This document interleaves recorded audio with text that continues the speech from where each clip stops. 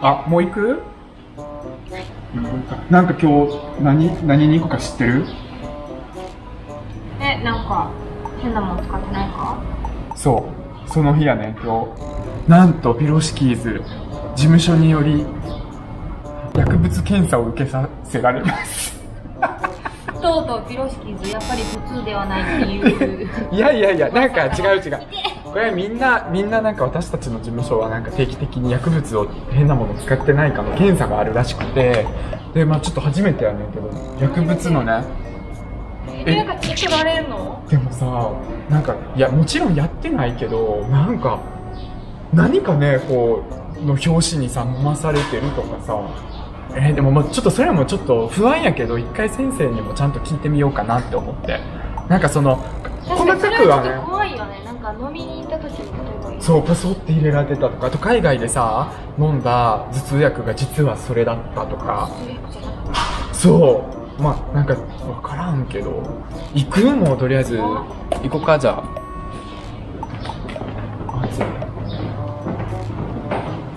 何でやるのおしっこかな。血液かな。髪の毛とか取るパターンもあるやん。か。血液とか嫌やえ髪の毛？おしっこ目の前でこう取られるとかどうしよう。んなことってある？不安なんですけど。あ、じゃあ行こう行こう。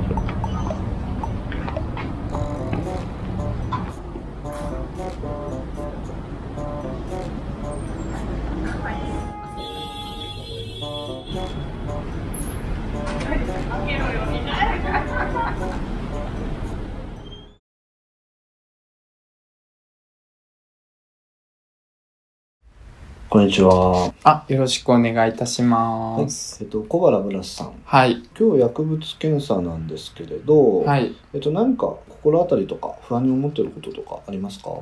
あの、これって何の成分のテストなんですか？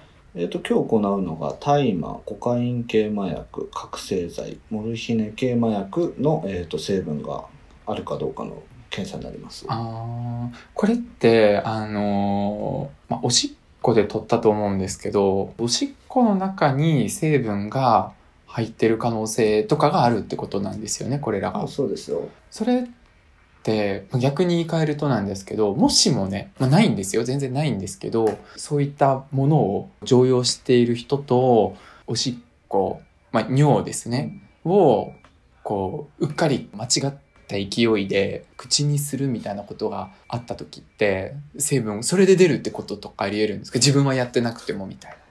ああ、そういうことですね。薬物使用者の尿には成分が含まれてます。はい。はい。まあ、なので、それを、まあ、口にするということですよね。はい。まあ、体内にまあ成分が入るということにはなるので、うん反応が出ることもあるかもしれません。あーそうなんだ。まあ自分はもちろん全然ないんですけど、友達がそれがあったら心配だなっていう、なんかまあそれだけで聞いたんですけど、はい自分、自分はちょっともうちょっと心配してるのが、まあ自分って関係ありそうなのが、行為性行為性交渉の方をやっているときに、なんて言うんですかね、こう、時々こう、なんかこう、スペルマの、まあ海に巻き込まれるというか、なんかその、精子をね、こう、飲んでしまうみたいなことってあると思うんですよね。うんはい。なんかその精子とかを飲んだ時とかにも反応って出そう、出ますか？あその薬物使用者の、はい。まあ、との、まあ、体液のこう接触ということですよね。まあ、当然、まあ、薬物使用者の体液に成分が検出されることはあるので、まあ、出る可能性もあるとは思いますけど、ね。過去にそれでこう出た人とかいますか？いや、ちょっとあんまり聞いたことはあないですよ。薬物、その使用者の使用量にもよりますし、その、あはい。まあ、なんか相当な量じゃないとダメとかそういった感じなんですかね。なんとも言えないですけどはね。可能性も、まあ、あるといえばあるんじゃないですかね。でも、稀だとは思いますけどね、それで検出されるのは。えーわかりました。まあでも多分自分は大丈夫です。なんかその時って結構記憶になくて、なんか飲んだか飲んでないかも覚えてないみたいな感じもあるんで、先生はなんかそういうことはするんですか？いやいや、なんかそういった感じの。え、こういう相談って受ける人っていないですか？他にも。いやー、なかなか正直いないですよ。か。あわかりました。まあじゃあ、自分は全然やってる記憶もないんで、まあでも自分のあれじゃなくても、まあ出ることは稀にあるということなんですよね。そうですね。わかりました。まあでも多分自分は、友達はどうかわかんないんですけど、自分は大丈夫です。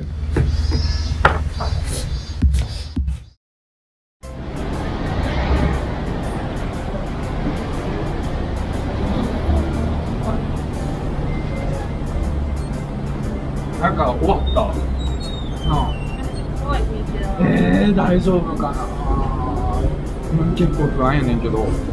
大丈夫かちょろっとしか出へんかった。これがいっぱい出した。いっぱい出た。はい、出すな。はい、出すな。終わったらなんかいきなりなお腹すいあ、うち辛い。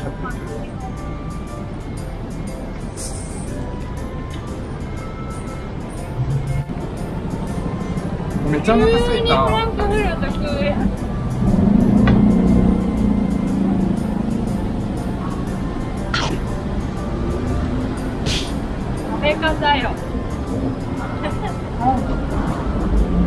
どう？